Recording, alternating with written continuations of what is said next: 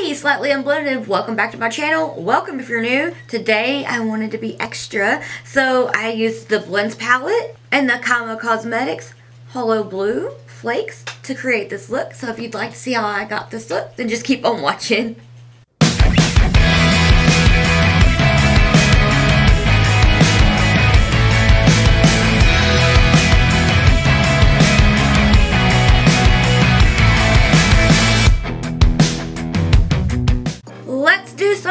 I'm taking my Blend Bunny Blends palette, my very well loved. All of the words are coming off here. And guess what? I've got a double pan that's turned into one big pan in Spellbound as of like yesterday. So pretty much for this look, I'm just going to take Spellbound, 32, and Bubble Bath let's jump into it. My lid's already primed with the Gerard Cosmetics Clean Canvas in Fair. So I'm going to go ahead and take the brushes from Blend Bunny Cosmetics. I have the set. They're very amazing. I love them so much. To start out, I'm going to take the B2 brush because I wanted something short and pretty dense so this one is perfect I'm going to take the B2 brush in the shade 32 and what I'm going to do is I'm going to go ahead and start to pack that deepest darkest blue shade on the outer corner of my eye and I'm going to kind of wing it upwards if it's kind of messy it's okay because we're going to go and do a little cleanup after everything's blended so I'm just going to go ahead and start to build the shape I'm going to take it into the outer V of my eye and start to pack this blue down. Little pat pat pataroos. Do a little chick chick chick chick. And focus on the shape just a little bit. I'm trying to make sure that I have them even because on this eye I struggle with making sure that they're going in the same direction. and I'm going to take it to about almost halfway over and just continue to just pat that shade down. I'm cleaning this brush off and I'm going to take the shade 32 and I'm just going to pat, pat it on and then I'm just to do little baby windshield wiper motions to try to get these nice and blended real quick.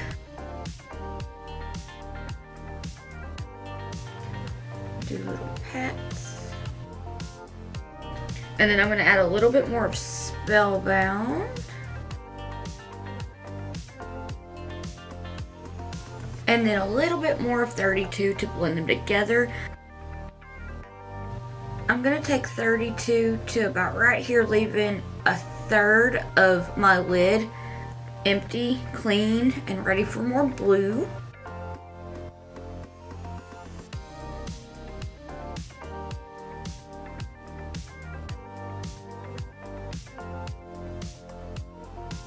Now I'm going to take Bubble Bath. I've cleaned that brush off and I'm to go ahead and start to apply it on that inner bit of my lid.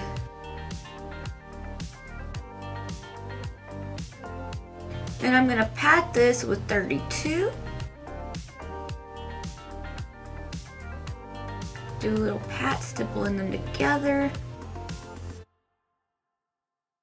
With the B3 brush, I'm going to take some more of 32 and just pat that down with bubble bath to blend them. And I'm going to do a little back and forth windshield wiper motions to make sure they are nice and gradient.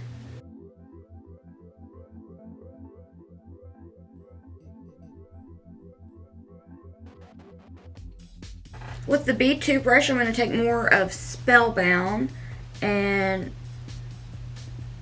really kind of get that shape.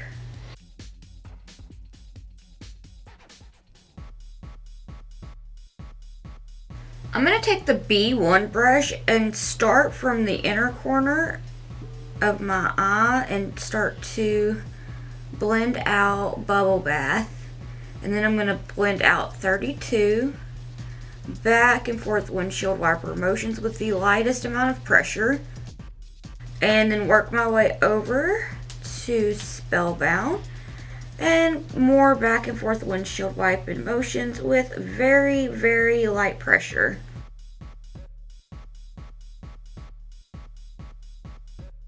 With the B2 brush, I'm going to go back in and just kind of pat a little bit more of Spellbound down to make sure it is a nice and dark, dark blue wing on the outer corner of my eye. Just want a nice and intense blue moment because, ah, I love it. Now, with my B4 brush, I'm just going to make sure it's nice and cleaned off and take a little bit more bubble bath. And I'm just going to start to lightly blend bubble bath with itself. And then bring it over to blend out 32. And then bring it over to blend out Spellbound. Now right where that blending leaves off, the dark blue starts to become lighter from the blending. That's where we want to focus this bubble bath shade. Now I'm going to take the B5 brush and the shade Cream and Sugar. I'm just going to diffuse the shades with this.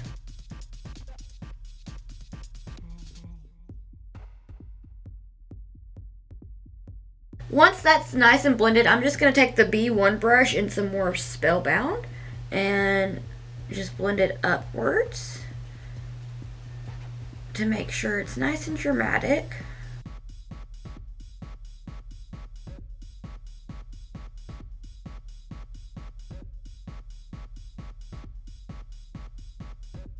And I'm to blend out Bubble Bath a bit more with cream and sugar. Clockwise and counterclockwise circles for a more even blend. Now I'm going to do just a tiny little bit of a cleanup with some micellar water on a q-tip. What I'm going to do is just sharpen this wing.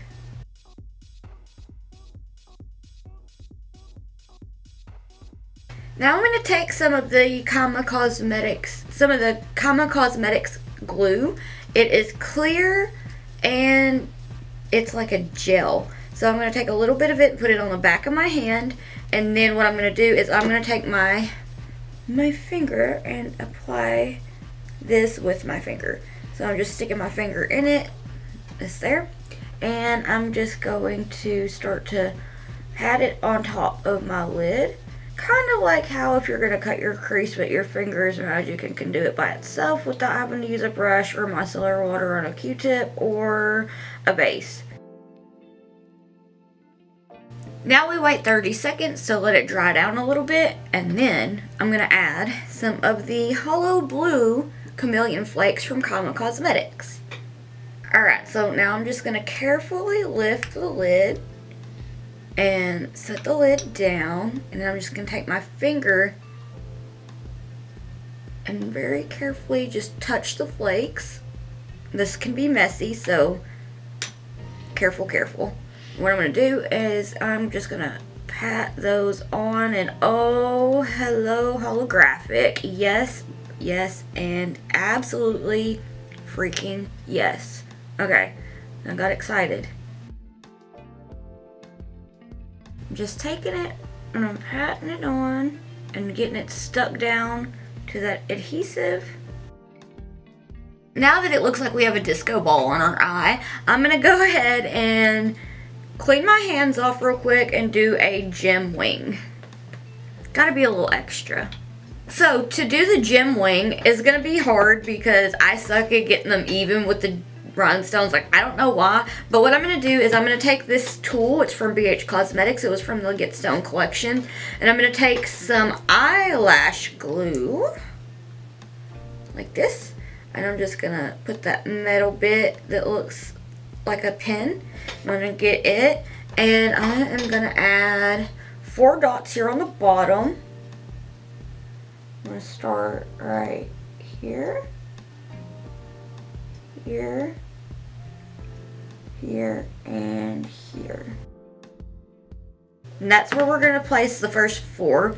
But what I'm going to do now is I'm going to dot a little more glue to kind of get the shape that I want. That way, to me, it seems like it's a little bit easier to try to get them to be more even. So I'm going to do one here, one here, here, and here for now. And then I'm going to do one right there for like that part. So I'm going to take these gems. I'm not going to do the iridescent ones. I don't know why I didn't do that. I'm just going to do the more silvery ones.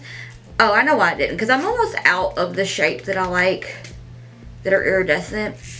And I need to order more. So I was like, you know what? These ones will work. So I'm just going to take the waxy bit of this tool and start to add some gems. Got that one. I am not exactly sure when this is going to go up. It might be the week after the in a uh, the fade into hue palette tutorial. If so, I feel like I'm going to explain in that video. I don't have it edited yet.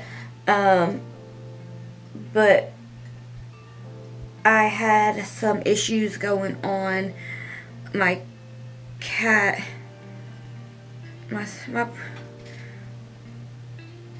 my poor kitty just wasn't feeling good. And I, that was a very long week, so my energy was definitely off in that video because my pets are like my children and whenever something is off with them I freak out so that was a voiceover in the beginning of a very long week. And I'm still trying to get over it. And I kind of messed that up. For my inner corner highlight, I'm taking the Makeup or Murder Poison Highlight in the shade Straighten Up. And I love Makeup or Murder so much. My friend Slay with Desirae definitely sold me on these. So I just take the cork and I touch my brush to it and get it everywhere. And I'm just to pop that onto that inner corner area right there like that. And yes, it is so sparkly. I need to do a video with a lot of their things to show you how I use them because I use them a lot.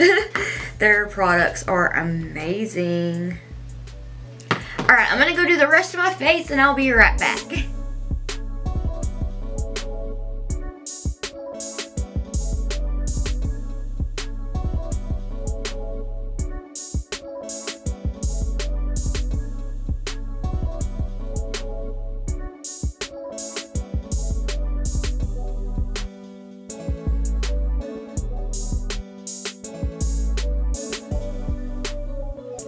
Alright, so this is the finished look. What do you think? I am obsessed. I did take a little bit of the Kaima Cosmetics Pressed Foil Pigment in Tootie Twist.